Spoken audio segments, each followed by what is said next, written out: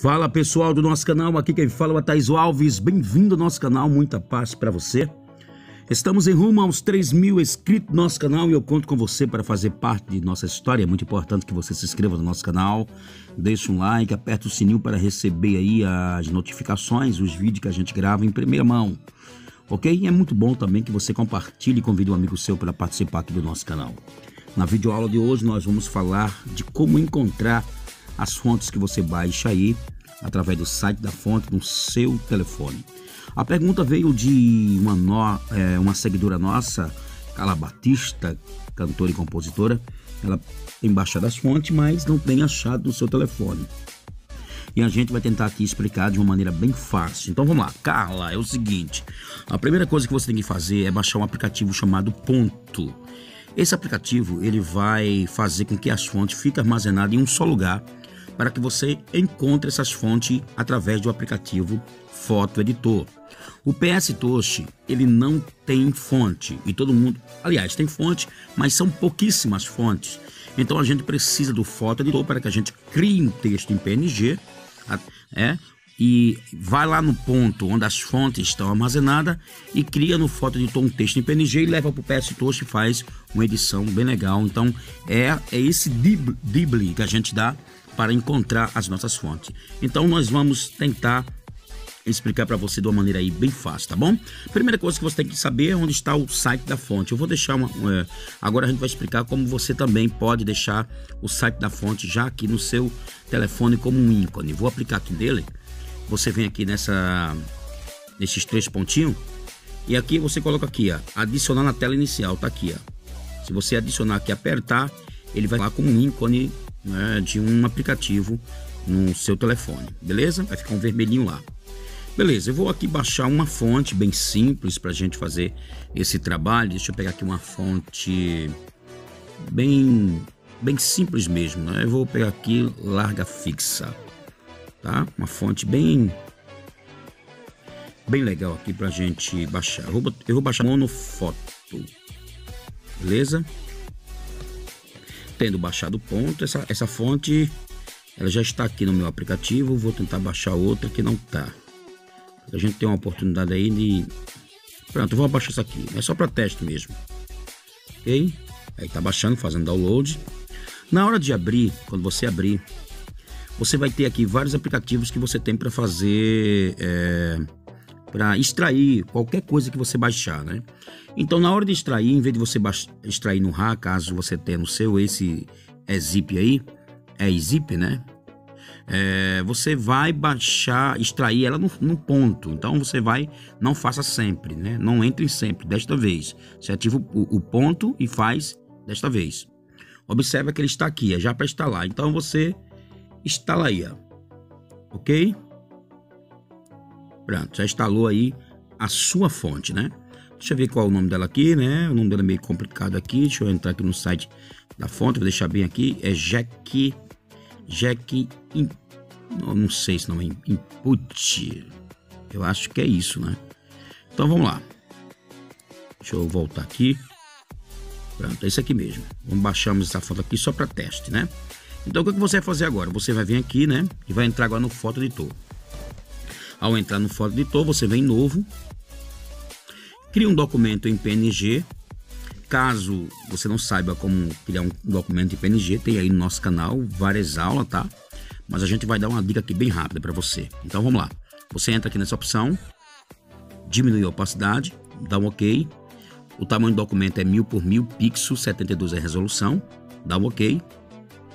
Beleza. Se caso o seu não estiver assim, quando você abrir pela primeira vez, o seu vai estar assim, fica tudo preto. Aí você entra aqui, ativa a grade, e depois ativa o segundo palco. Olha aqui, ó, segundo palco, esse aqui. E o seu vai ficar parecido com o meu. Acredito que ao abrir o seu PS Touch, é, o seu foto editor pela primeira vez, é, o seu texto barra imagem vai estar por aqui assim, ó. Tá bom? Para você colocar ele aqui no começo, é só vir aqui em mais, engrenagem, procura o texto barra imagem que ele está aqui, ó, e você aperta aqui um pouquinho assim, bem devagarzinho, e sobe, coloca ele como primeiro, aplicar e ele vai ficar aqui como primeiro. Então você aperta texto, imagem, vem mais, é, TDT, Aqui você vai escrever o texto que você quiser. Eu vou colocar Ataísio. Vou colocar aqui uma cor branca, dei um toque na tela, em texto em cima e dupliquei aqui e ficou branco. Beleza? Então voltando lá novamente. Então, aqui em prioridade é onde você vai procurar a fonte que você baixou. Ó, texto e ativa prioridade. É, sobe aqui um pouco. Isso aqui vai ficar escondido, você sobe. Entra aqui nessa opção. Né? Com certeza o seu vai estar assim, ó. Caso tenha aberto aí pela primeira vez. Caso não estiver, você dá um toque aqui que ele fica. Aí o que você vai fazer? Você vai entrar aqui ó, e procurar a parte do ponto. Você vem aqui no P. Ó. Aqui. Aqui o ponto. Aí você entra aqui e vem em fontes.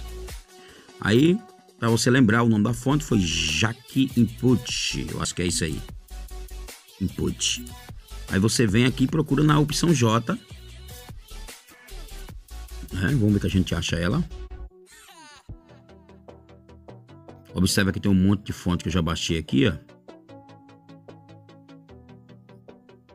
Vamos lá. Ela vai estar por aqui em algum lugar. Não sei se já passei o J. Vamos lá. Olha ela aqui. Ok? Ela está aqui, ó. Dá um toque. Pronto. Essa aqui é a fonte que a gente baixou. Olha aí. Ok? Simples objetivo. Beleza, tá aqui desse jeito, né? Aqui você também pode mudar a cor, fazer, colocar som. Só que a gente faz tudo isso no, num PS Touch. Como é que a gente faz? Você dá um toque aqui, dá um toque aqui de novo, ativa essa opção PNG, entra em salvar como, digita o nome que você quiser aí, você pode digitar até seu nome ou qualquer coisa, dê um toque.